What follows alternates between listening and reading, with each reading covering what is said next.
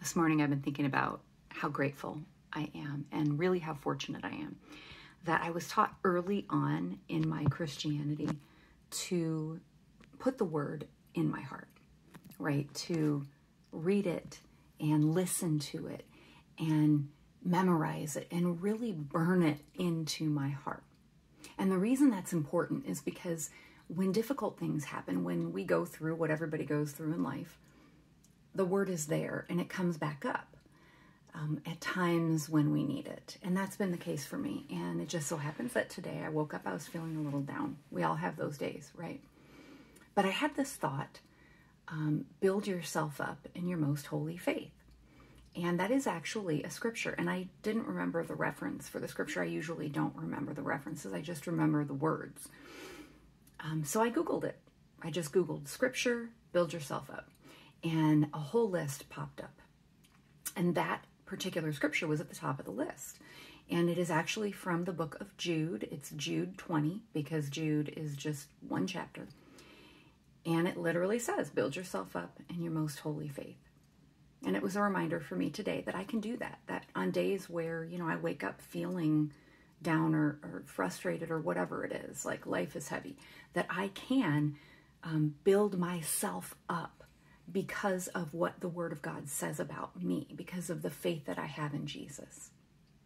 But I noticed something when I looked at that list of scriptures. I noticed that the only one that was telling me to build myself up uh, was the first one. And the rest of those scriptures were actually about building other people up in their faith. And I remembered that while it's important that we build ourselves up, because it is, it's important that we know who we are in Christ. It is equally, if not more important, that we build others up, that we reach out to those around us and help build them up in their faith. And so this morning, that's what I want to do. I want to get on here and encourage you because maybe you woke up today feeling heavy. Maybe you woke up today feeling, I don't know, down, frustrated with life, whatever it is. I want to remind you of who you are. I want to remind you today that you are a child of the Most High God. In fact, the Word of God calls us kings and priests. The Bible tells us that the Lord of all creation, the one who made the heavens and the earth and everything that we see, he crafted you with his own hand. He looked around and saw what he made and decided that he wanted one of you.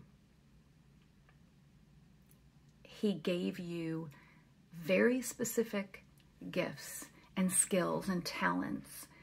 And He placed you in time, in history today for a reason. See, you're here with purpose. You're not here by accident. You are here for a purpose. And so when you go out into the world today, think about that. Think about the fact that you are victorious. You're an overcomer. That you're His and He loves you. He calls you valued, and highly favored. And if you don't know Jesus, maybe you're watching this and you're like, yeah, whatever, lady.